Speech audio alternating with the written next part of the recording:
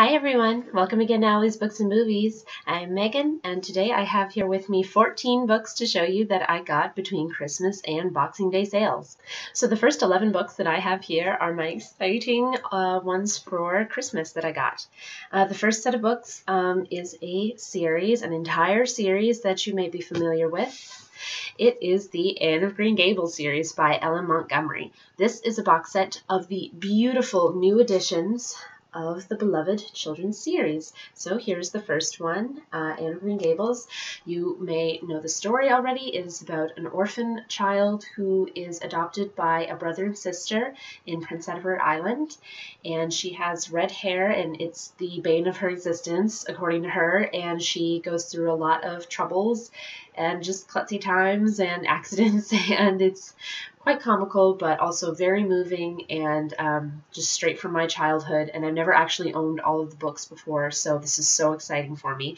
I will show you all of the beautiful covers, but I won't um, go into detail about their plots, partly because um, I've never read them before and I don't want to be spoiled, and partly because I don't want this video to go on for six years. So this is book two, Anne of Avonlea, and book three, Anne of the Island. Book four, Anne of Windy Poplars. Book 5, Anne's House of Dreams. Book 6, Anne of Ingleside. Book 7, Rainbow Valley. And lastly, Book 8, Rilla of Ingleside. The next book I got, actually the last three books I have for Christmas are books that I got from Matt. And the first one I have been wanting for such a long time. It has been all over BookTube and I've wanted to read it ever since. And it is the Kiss of Deception by Mary E. Pearson. I mean, just look at this cover. It's it's beautiful. I, I normally don't like people on my covers, but but this I, I really do enjoy. I mean, look, at like, you know, you've got maps. I love maps inside covers, don't you? I mean, they're so pretty and informative at the same time. This has an embossment, which you can't really see. And there's the spine. I'm so excited. So if you don't know about the story, it is about a girl who is in an arranged marriage and flees from it. And so an assassin and a prince are sent after her. And it's the story is told from all three perspectives, except we don't know which one is the prince and which one is the assassin. How intriguing is that? I just cannot wait to get my hands on this and read it because the second one is coming out uh, next summer, which is also very exciting. So the next book he got me is The Storied Life of A.J. Fikry by Gabrielle Zevin. This has also been uh, kind of blowing up on booktube lately with people like uh, Regan from Peruse Project and Ariel from Ariel Bissett uh, talking about this. Uh, Lindsey Rey uh, also loved this book. She adored it. Um, this is the story of a man who has lost his wife, and it is a year later, and um, everything in his life is starting to suffer as a result. Like uh, he has a bookstore, as I understand it. This is a book for book lovers, I believe.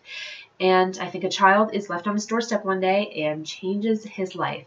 This just sounds so good and involving, and I cannot wait to read it. And the last book that he got me, which is, again, so, so exciting. I don't know if you'll be able to see it very well because it's a shiny cover, so I don't want ref light reflections, but it is a Thousand Pieces of You by Claudia Gray. I got it. And it's so beautiful. It's just the, like the most beautiful cover that I've seen this year, I think. Like truly, just just gorgeous. The underside I haven't looked at. Ooh. It's just basic two tones of gray. So this is a story, I believe it is about a girl following a guy or a guy following a girl across not time, but it's like it's not interdimensions either. They are able to travel between places, sort of like Harry Potter and the Apparition, only not.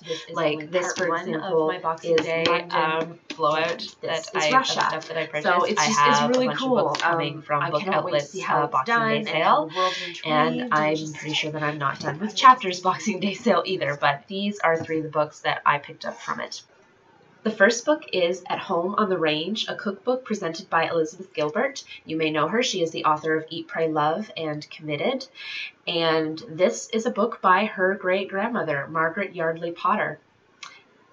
I am intrigued by this because I love Elizabeth Gilbert and her writings, and um, particularly her writings about food. And so this is a cookbook, and the fact that it's by her great grandmother means that it's really old. And I love old cookbooks, and I just The insides are cool. This is really cute, actually. And so I got it at the Boxing Day blowout. The spine is lovely, too.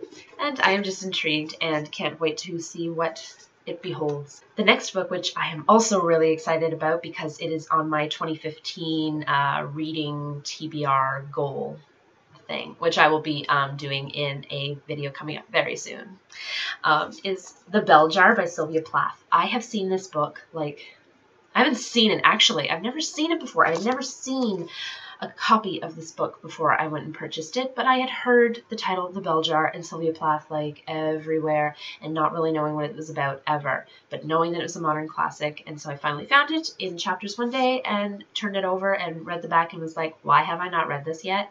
It is about a woman who um, is falling into her own insanity. Not a very happy topic, but this is like pretty highly revered in terms of modern classics, and I intend to read it this year. Very excited. And the last book, which Matt actually purchased for me at the Boxing Day sale, although this was not on sale because it was not a hardcover, but that's beside the point.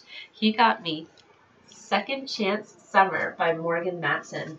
This is the author of Since You've Been Gone and Amy and Roger's Epic Detour. If I'm not mistaken, this is the book that came before those two. And I have not read it yet, and I am so intrigued by it. It is about a girl and her family who have just gotten some very bad news about her father. I'm assuming he's dying or has some sort of really bad illness. I'm not sure.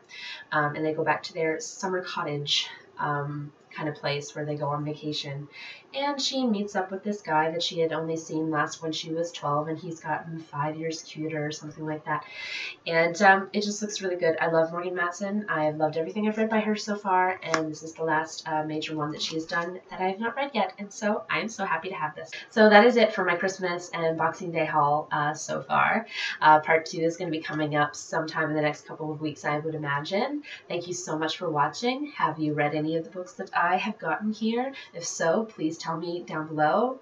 I would love to discuss. Please like and subscribe. I hope you guys have a wonderful week, and I shall see you soon with my next video, which will either be my December wrap-up or my TBR goals for 2015, like I said earlier.